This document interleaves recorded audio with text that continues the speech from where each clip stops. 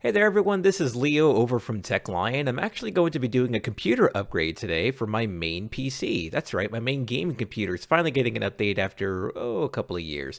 And what we're going to be adding to this computer is actually going to be a new processor. I'm upgrading from my AMD 3600 to my AMD Ryzen 7 5800 X3D, and it is now the top of the line gaming processor that I could possibly put into this motherboard. So this is also going to be a somewhat of a tutorial as to how to upgrade the BIOS that are on your motherboard and install the new processor onto the motherboard as well.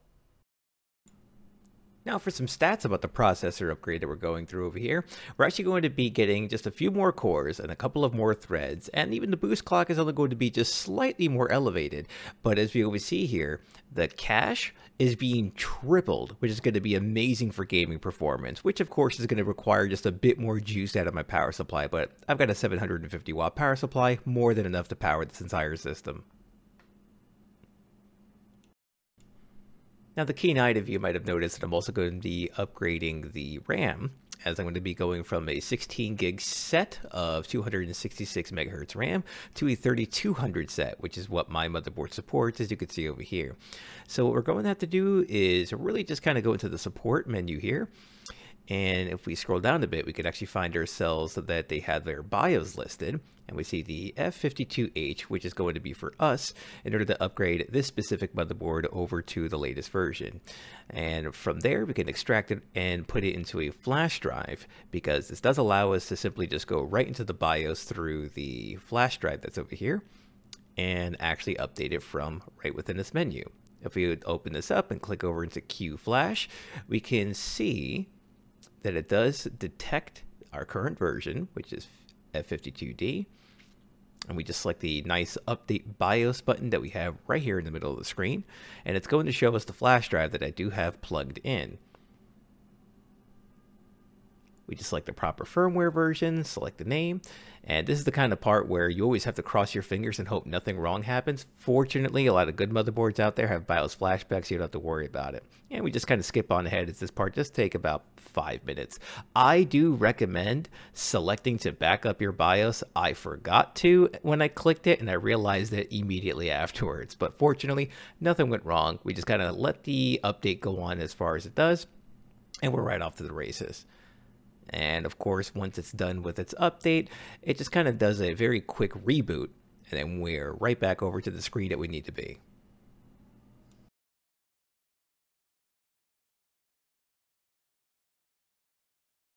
And of course, it got its 100%. Quick countdown for the reboot, and we're right back over to this screen. And always check the BIOS immediately. Go right back to the Q Flash screen, and I do check to make sure that it is now at F 52H, which is the version for my motherboard that allows it to detect the 5800X3D. Now I'll worry about a bunch of other settings later, because right now what we're going to be doing is installing the processor and the RAM. First order of business for us is going to be going right inside of my tower. I like working while it's on its side, especially with any computer that I'm building, and we get a good look at the guts from the inside. Now, I do have a very large fan here, the Noctua NHD15 in Chromax Black.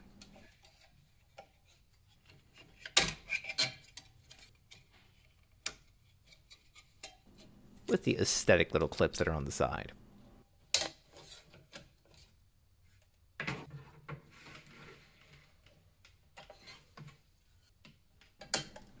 Now, don't worry about the dust that you do see all throughout the computer. I will be blowing this out a little bit later into the video, but I do recommend that if you are unlocking or going to be doing any kind of upgrades within your computer, give it a good cleaning.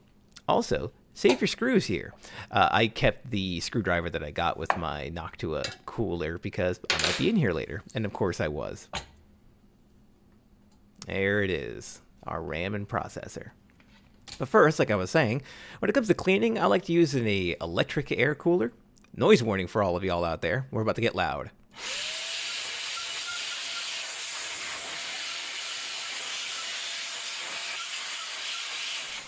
Nice and clean. And the fans.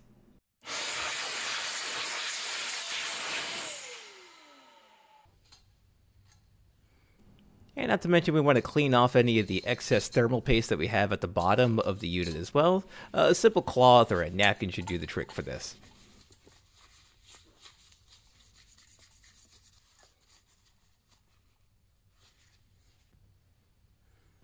And now let's get the RAM sticks out as well as the processor.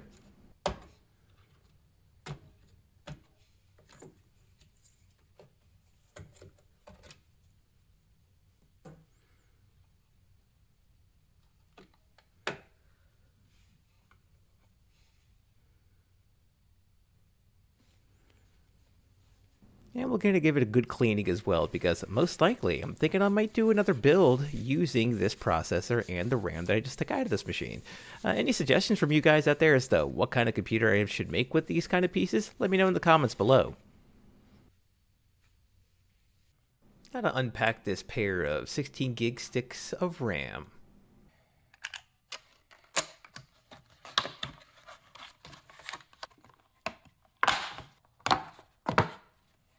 Beautiful. Nice and red to match up with the aesthetics of my case and fans.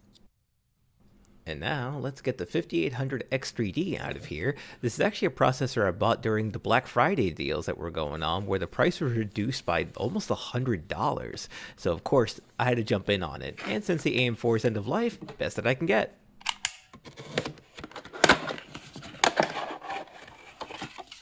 It actually comes with the case that the Stealth fan would usually come into, or the Wraith fan that is, which it's just e-waste at that point. That's just going to go right into recycling. But there she is. Now let's actually get the RAM installed into the proper slots, which is going to be 2 and 4 for me.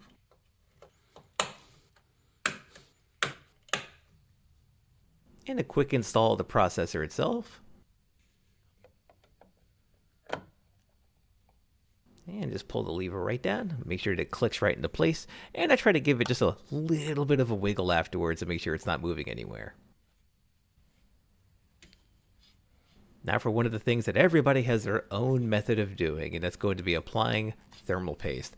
I like to stick to the whole pea size right into the middle of the processor kind of deal. However you want to do it is up to y'all. If you want to do the X or a percent sign more power to you. I'll stick with the pea size now for, of course, getting this beast of a tower cooler right back onto this. Align it right up to the slot, since the back brace is already on there. Couple of nice turns on each side. Don't want to tighten it too much on one side and then have troubles tightening down the other. And then, yeah, tighten back the other side afterwards. Give it a good wiggle to make sure it's in place and the fans, of course, which, as you can see, this cooler does have some interesting fan clearance. You do need a wide case when you're using one of these. I like to use the screwdriver or a pair of chopsticks to help uh, push down the fan connectors as well. And we get the second fan in here.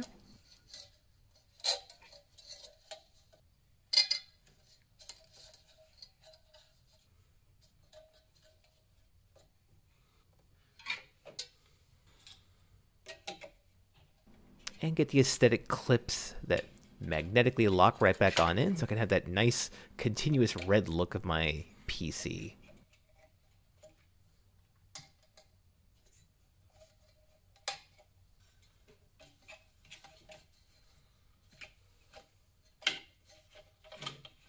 And with that, we're good to go.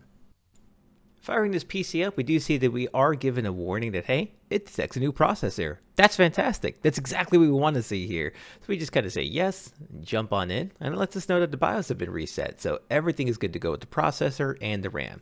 We do just need to make sure that a couple of settings are correct. First of these settings is going to be going to the advanced frequency settings and making sure that XMP is enabled. This is going to make sure that our RAM is not running at the default 2400 megahertz that you see there, and it's actually going at the full 3200.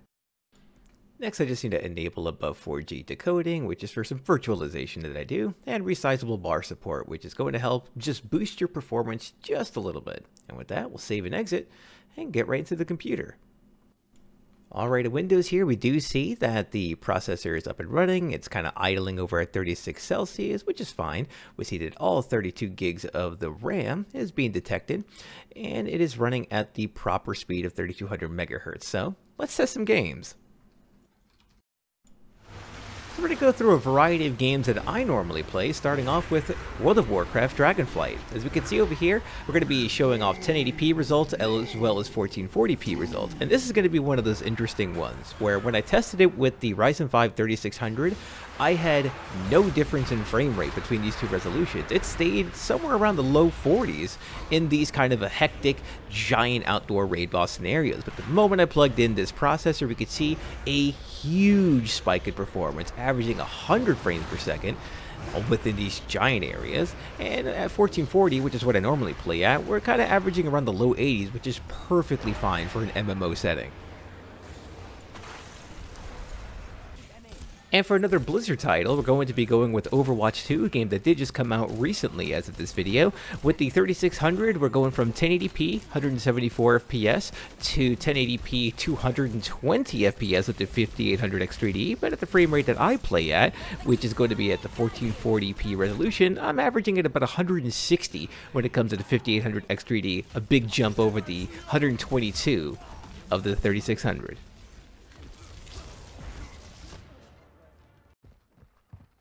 Now for one of the games that I'm sure a lot of you folks are playing out there is going to be Warzone 2.0. And in the Battle Royale mode, we're averaging from around 1080p, 70 frames per second at high settings, to 130 that's right, at 1080p 130 FPS at high settings, fantastic.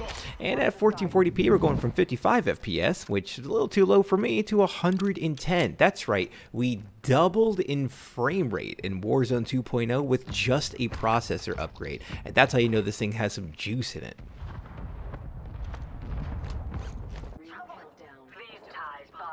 And now for another competitive shooter, Apex Legends, which is probably going to be showing you the most interesting graph in this entire benchmark suite. It's going to show you that our frame rate did not change at all, regardless of the processor that was being used. And this is a very good point about this because if you ever check out programs like MSI Afterburner, you can actually see where your bottleneck is. With an Apex Legends, I always see that my video card is actually running at 100% the entire time in Apex, whereas my processor isn't really being used as much. So that's a very good thing that you want to double check whenever you're seeing the games that you're normally playing and to see where your bottleneck really lies. And now for the last game within our benchmark suite, it's going to be a brand new title that just came out. It's going to be Warhammer 40k Darktide, a sequel to the Vermintide series of Warhammer games, this time set up into the long distant future of the 41st millennia. Now this was another title that I played the beta about a month ago and I went, I gotta upgrade my computer. I was averaging, roughly, within even low settings, mid 40s, mid 50 frames. If we see even over here, for comparison's sake, the Ryzen 5 3600 was going at about 43 frames per second, up to 38 at 1440p. But the moment that I jumped up to my Ryzen 7 5800 X3D, we went 1080p, 100 FPS average, 1440p, 80 FPS average. We more than doubled our performance going to a processor upgrade with this title, and I'm more than happy with the kind of performance that I'm getting out of this game with my friends. And it's going to wrap it up for this one. I hope a lot of you found this pretty informative about BIOS updates, updating your processor, updating your RAM, and the kind of gaming performance you could have from just upgrading your processor for the most part. And let me know what you think I should be doing with an old processor and RAM that I have. I might just build a whole new computer using those pieces. If you have any other questions, ask down below into the comments, and of course, like and subscribe. Until next time, bye.